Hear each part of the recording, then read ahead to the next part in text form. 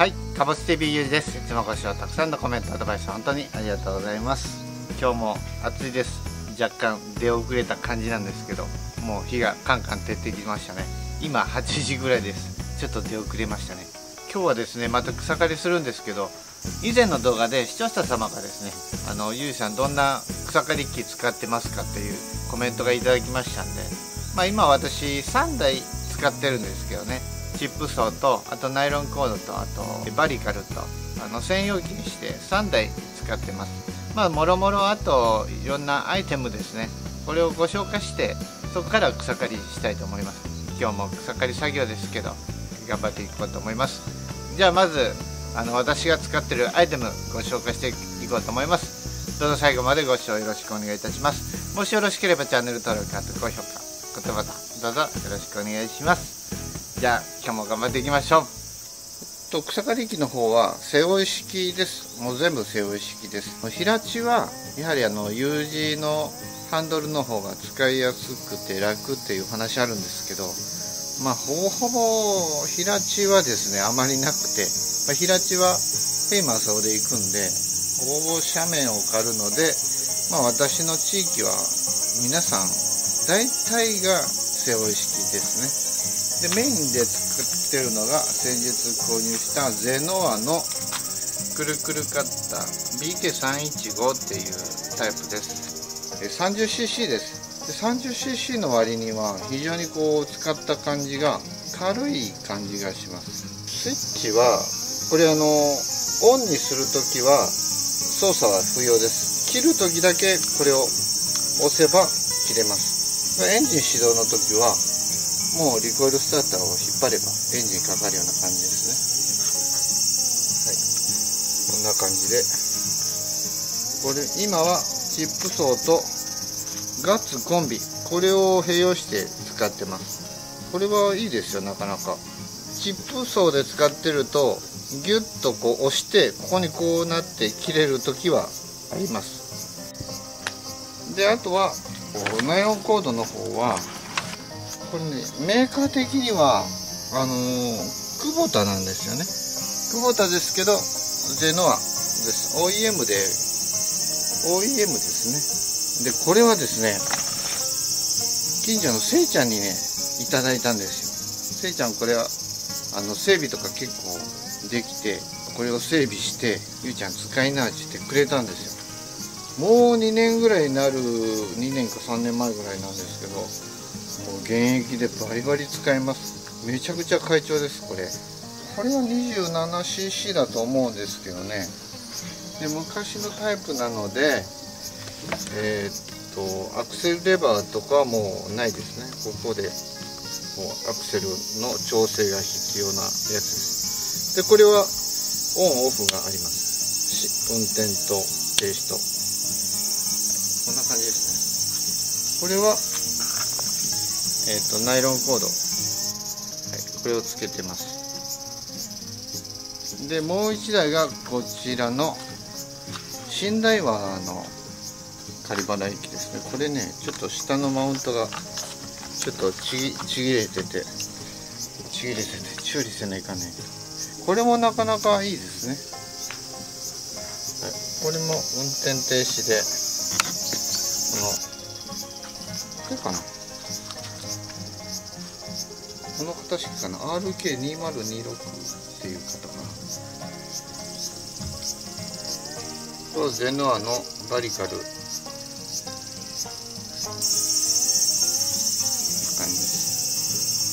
はい、あとアイテムはあの装着アイテムはこういうハスクバーナーのちょっと汚れてますけど。ハスクバーナーのあのイヤーマフヘルメット使ってます。前に。あのネットのあるやつですね。でイヤーマフの方はまあ大体皆さんイヤーマフ使ってる方少ないと思うんですけどまあ暑苦しいとかまあ確かに暑苦しいかもしれないけどあとですねあの出会い作業とかある時に周りの人の声が聞こえないっていう問題があってまあそういうのからなかなかこう使う人っていないんですけどこのハスクバーナーのやつはこの下まんまでも会話できます。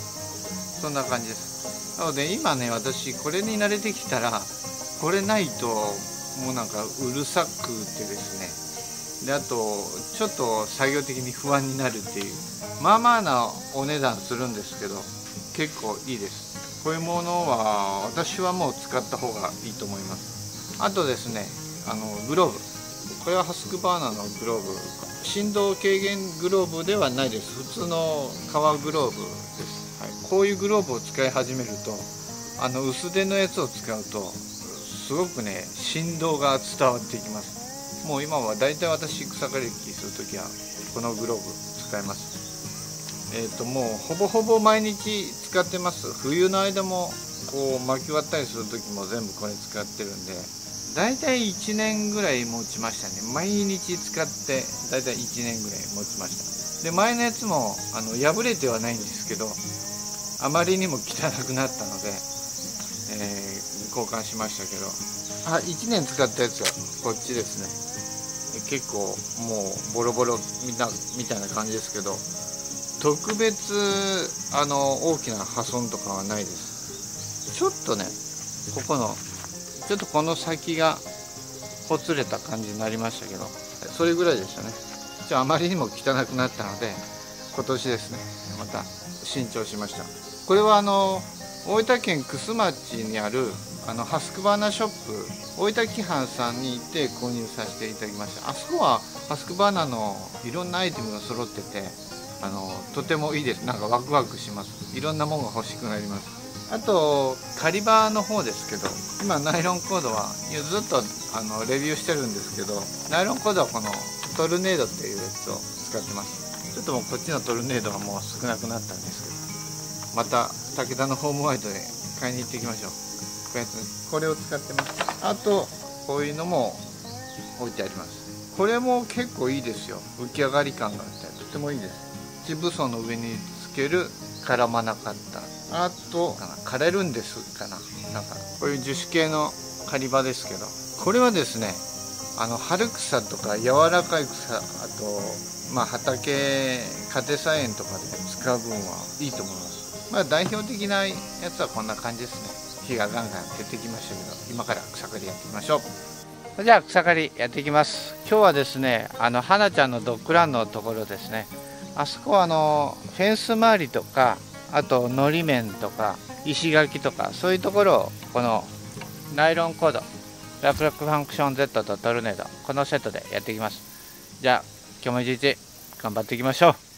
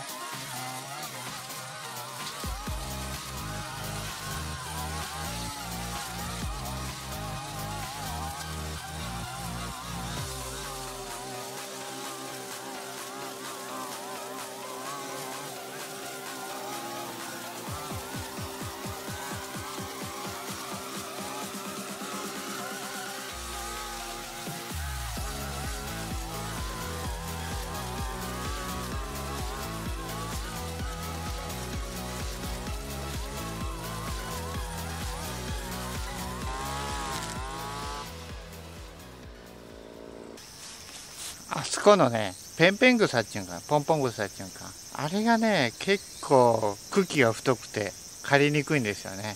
どんな感じかやってみましょう。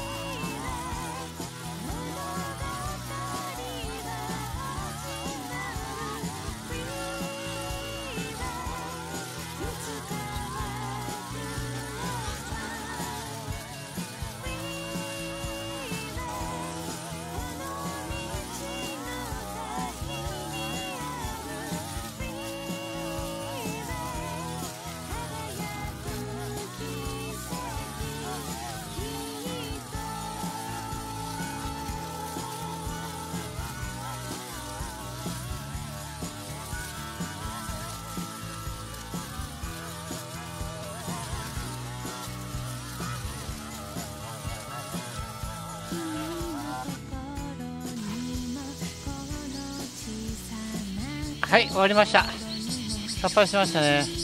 であと平地の方は平正雄で今度ねやっていこうと思います。はいじゃあ全体的に見ていきましょう。はいこんな感じで。終わりました。いやすっぱりしましたね。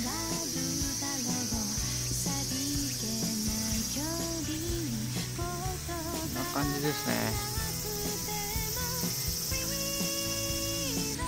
はい午前中の作業はこれで終了します結構早い時間ですけどもうやめましょう。もう10時過ぎなんでちょっとやりすぎぐらいですね、はい、今日はですね花ちゃんのドッグランのところ、えー、フェンス周りとあと斜面あと石垣周りをナイロンコードで草刈りしました、えー、今日はあのいろんな場面で使いましたけどナイロンコードが切れることはなかったです、えー、あと繰り出しは結構しましたね障害物がないところはほんとスムーズに刈れます。繰り出しも少なくてですね気持ちよく刈れましたね。長い間ご視聴ありがとうございました。もしよろしければチャンネル登録かと高評価グッドボタンどうぞよろしくお願いします。では次の動画でお会いしましょう。バイバイ。また暑くなりましたねまただいま